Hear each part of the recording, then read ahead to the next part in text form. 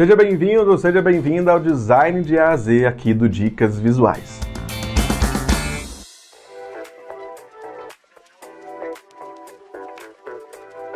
Eu gravei aqui uma série de vídeos que vão funcionar como uma espécie de dicionário visual e que vão ajudar, é claro, principalmente quem está começando agora na área do design gráfico ou então Talvez você que já está há muito tempo aí na sua área de trabalho, já conhece, né, já é um design iniciante, mas precisa confirmar alguns termos, precisa conhecer coisas novas. Talvez você não, ainda não estudou design, né, você estudou programas. Então aqui a série Design de A a Z vai te ajudar a conhecer o um mundo novo. E muito prazer, se você não me conhece, eu sou o Diego Rangel, também conhecido como o arroba Dicas Visuais aí nas redes sociais.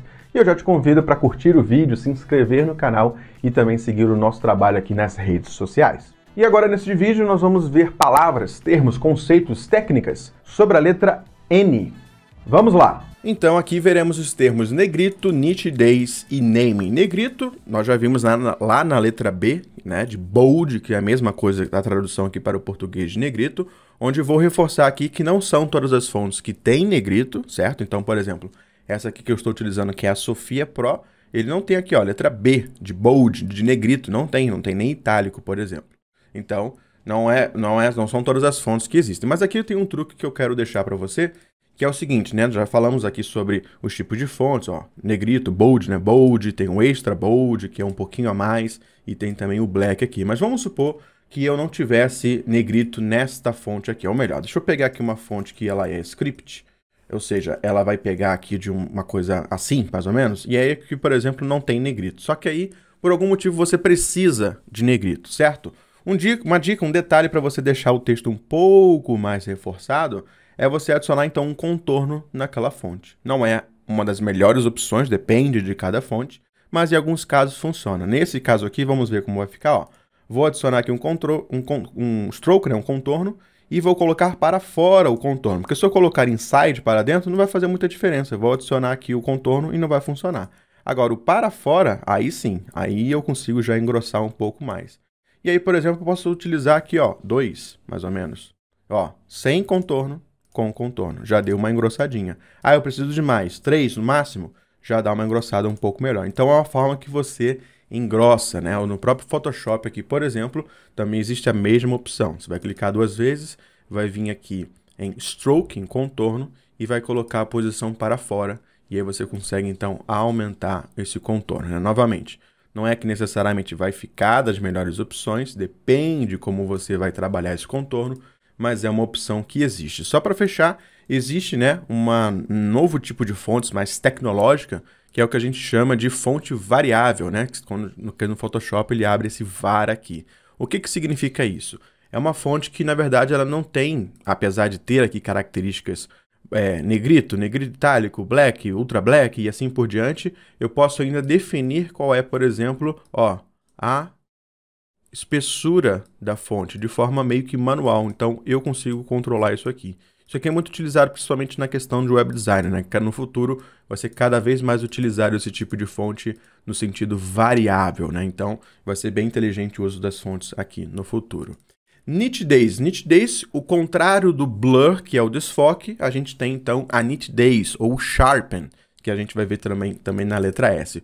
O que, que é a nitidez? A nitidez é isso aqui, ó. Eu tenho aqui, por exemplo, uma foto, ó, pegar essa foto aqui, e eu vou vir aqui em editar imagem, e eu vou vir aqui em ajustar essa imagem, e enquanto eu tenho no valor positivo o desfoque, o contrário do desfoque é a nitidez. Olha como é que eu estou deixando a imagem mais nítida. Que, que, é, que, que significa na prática a nitidez? Ele vai pegar os contornos das imagens e ele vai ó, tentar deixar mais, vamos dizer assim, é, fino né, o corte dela, o detalhe, o contorno dessa imagem. E aí, de fato, você tem aqui, né? É claro, se você pesar a mão, não vai ficar uma imagem agradável aos olhos. Então, geralmente, as imagens aqui entre 20 e 10 mais ou menos funciona, né? É claro, depende do nível da imagem, às vezes tem imagens que precisam de um pouco mais de nitidez, menos de nitidez. No Figma aqui, nativamente nós não temos, você vai ter que instalar um plugin de edição de imagem aqui, mas no Photoshop nós temos, no caso, uma fotografia, deixa eu puxar uma foto para cá, você vai ter, por exemplo, uma nitidez, né? Então eu posso colocar aqui, vou vir na opção de Filter, Sharpen, né? E aí eu tenho várias opções aqui. Vou utilizar esse Unsharp Mask. E aí você vai ver que eu posso, ó, dar um pouco mais de zoom, vou tirar aqui, ó, para você ver a imagem. Não sei se você vai conseguir de fato perceber, mas vou aumentar para mais aqui. E o radius vou aumentar um pouco, né? Então eu posso controlar aqui quanto mais de sharpen eu posso. Vou botar aqui o valor de 100 e aqui de 2, tá? E vou dar aqui um OK.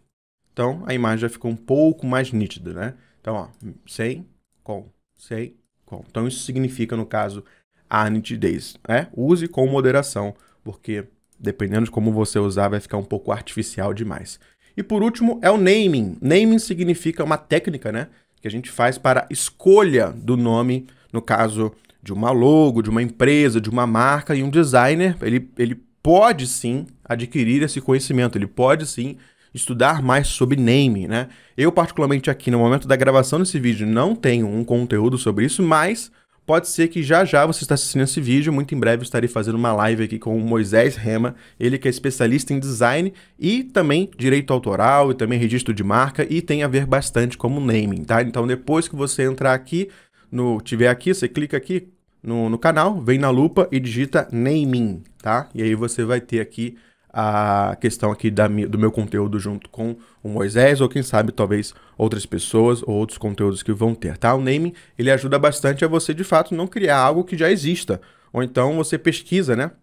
E também tem também, não é apenas uma questão de direito de, de, imagem ou de marca, mas também de você saber se aquele nome que você está utilizando, ele, ele é bom, se ele realmente funciona, se ele é falável, se ele é entendível. Por exemplo, dicas visuais. Muita gente é, gosta do nome, muita gente do digital não acha o nome legal, porque ah, você vai dar dicas visuais, aí isso vai achar que as pessoas vão querer só de graça o seu conteúdo, são só diquinhas. Eu já acho que é pelo contrário, eu já acho que é por causa dessas dicas que as pessoas conhecem o meu trabalho, é por causa dessas dicas que eu quero que de fato mais pessoas tenham acesso ao design de forma democrática. Então, é, foi uma estratégia que eu utilizei do nome Dicas Visuais para de fato ter essa coisa mais acessível, né? Você vê que o meu design ele tem de propósito as três cores primárias, cores simples, né? De ter toda a construção da minha marca, porque é de fato é pensado para ser assim, algo fácil, acessível e que tem um tom até quase lúdico, divertido e essa é a intenção. Antes de acabar o vídeo, eu quero te pedir duas coisas para você fazer aqui abaixo nos comentários.